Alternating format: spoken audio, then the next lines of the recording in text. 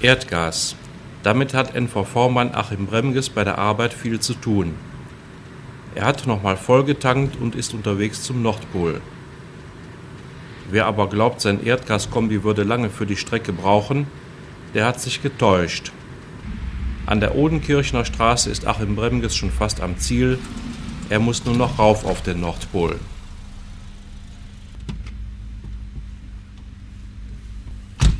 Die Gaskugel der NVV sieht aus wie ein überdimensionaler Globus. Oben und unten sind die Polkappen und in der Mitte erkennt man den Äquator. Mit etwa 8 Bar Druck wird das Erdgas hier gespeichert. Messpunkte liefern ständig aktuelle Daten für die Überwachung. Bei unzulässigen Werten gibt es Alarm, dann greifen unsere Einsatzpläne. Die 1955 gebaute Gaskugel speichert bis zu 70 Tonnen Erdgas. Gewaltige Stützen übertragen diese schwere Last ins Erdreich. Die 50 Jahre alte Gaskugel ist optimal gebaut. Sie erfüllt weiterhin problemlos ihren Speicherzweck.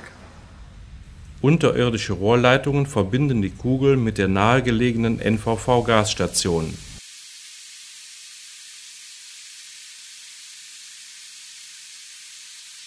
Regelgeräte steuern die Befüllung des Behälters und bei Bedarf den Abfluss in das Gasnetz der NVV. Der Gasspeicher glättet unsere Bezugsspitzen und ist eine Reserve für Notfälle. Achim Bremges und sein Kollege Dieter Beckers haben ihre Schutzausrüstungen angelegt. Sie müssen nun rauf auf die Gaskugel zum Nordpol, wie sie sagen. Dort ist turnusmäßig ein Sicherheitsventil zu tauschen.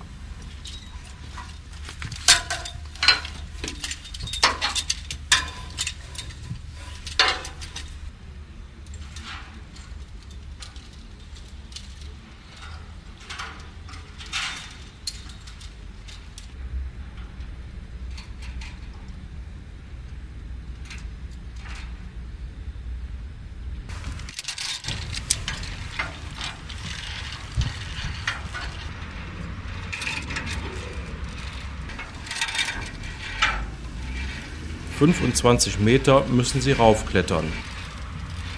Bis zum Äquator geht es nur senkrecht nach oben. Etwas weiter wird es in gebückter Haltung schwieriger.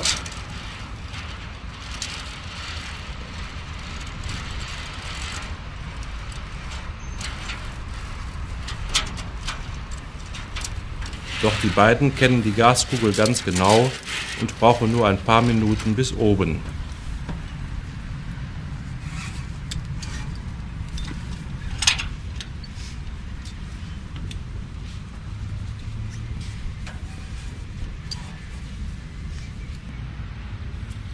Eins der beiden Sicherheitsventile wird nun ausgebaut und soll zur Überholung ins Herstellerwerk. Die 70 Tonnen Erdgas unter seinen Füßen können Achim Bremges nicht aus der Ruhe bringen.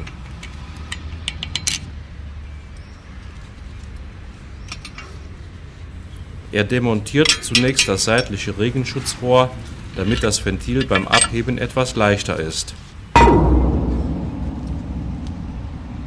Dieter Beckers hilft seinem Kollegen und schnell ist das schwere Teil abgelegt.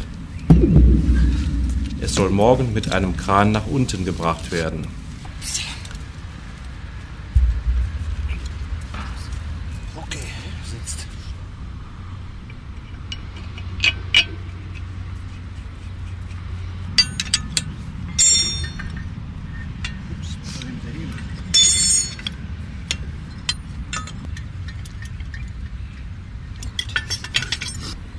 So, jetzt muss nur noch geprüft werden, ob das Ersatzventil richtig eingestellt ist.